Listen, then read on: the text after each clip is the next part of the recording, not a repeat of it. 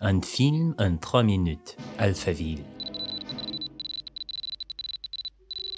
Dossier numéro 9. Nom Lémé Autre alias Eddie Constantine. Travail facile. D'abord, infiltrer Alphaville, localiser l'agent disparu Henry Dixon. Ensuite, convaincre le professeur Von Braun de retourner à Nueva York. Mais cette mission n'est pas si simple.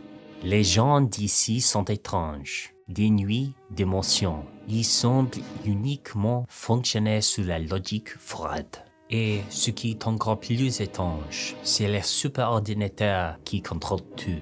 Alpha 60, les précurseurs de HAL, issus de un autre dossier. Vous avez l'air d'avoir peur. Non, je n'ai pas peur. Enfin, pas comme vous croyez. J'ai rencontré une belle femme, Natasha, la fille de Von Braun, mais elle ne sait pas qu'il est son père. Elle a un humour sur sa peau, comme tout le monde d'ici. Je connais le réalisateur de ce monde, son nom, Jean-Luc Godard. J'ai étudié sa méthode, on appelle ça la nouvelle vague française. J'ai examiné ses dossiers précédents, à bout de etc.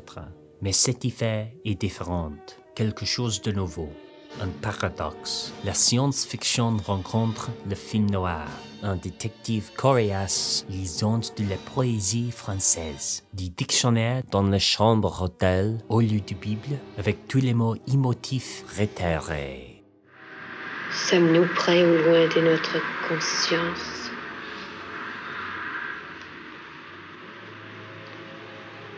Il y a des mots que je ne comprends pas.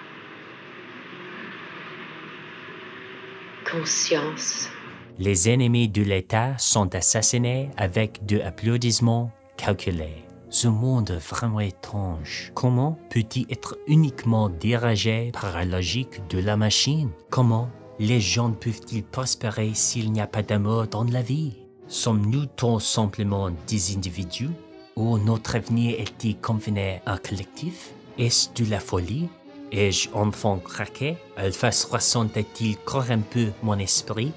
Non, je peux voir au-delà de l'artifice de cet endroit. Je peux découvrir l'avertissement de Godard sur les dangers de la technologie.